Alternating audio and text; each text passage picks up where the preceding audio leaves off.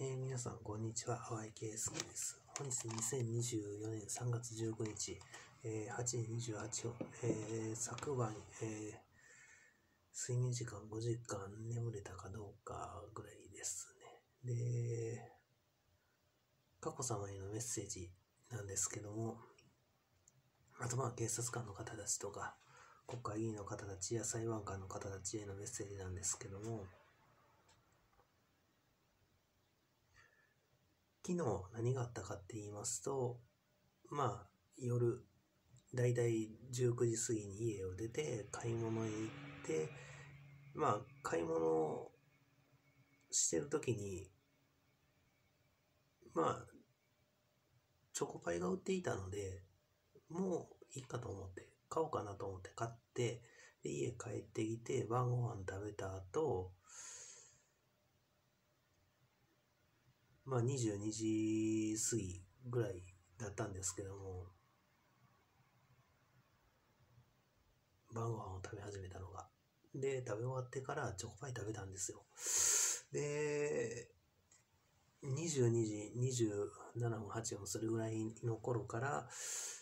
小川駅の方向から黒ずくめの服を着た男3人が、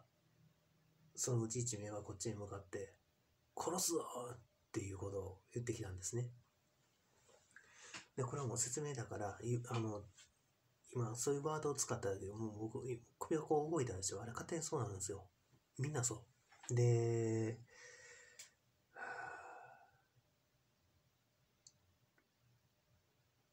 言われてるのは僕じゃないですか。被害者じゃないですか。で、刑法の違反をしてるのは向こうなんですよ。で、その内容とかは一応アップロードして警察に通報した内内容に関しては、まあ、あの、もうすぐに110番してくれたらいいですからっていうことはおっしゃってくれてるんですけども、あのーその後ね、佳子さまが僕の家の横を歩いたかもしれないんですよ。22時、えー40分から50分の間。で、これ佳子さまへのメッセージなんですけども、最初から淡井圭介の自宅に来てくれていたら、証言者として警察に言えます。その殺すぞって言われてから僕は撮影をしてるし、距離的に顔なんか全くわからない。夜だと。もう僕、スマートフォンに電源入れて、起動して、その撮影できるようになるまで1分はかかります。本当に。アンドロイド関係は。iPad もけど結構時間かかりますね。今のテレビと同じですよ。電源入れようとしてもなかなかハードディスクドライブ、テレビの電源はついてもハードディスクドライブまでなかなか起動しないでしょう。スマートフォンはもっと遅い。で、まあ、機種にもよるかと思うんですが、多分、どの機種も同じなんじゃないですか。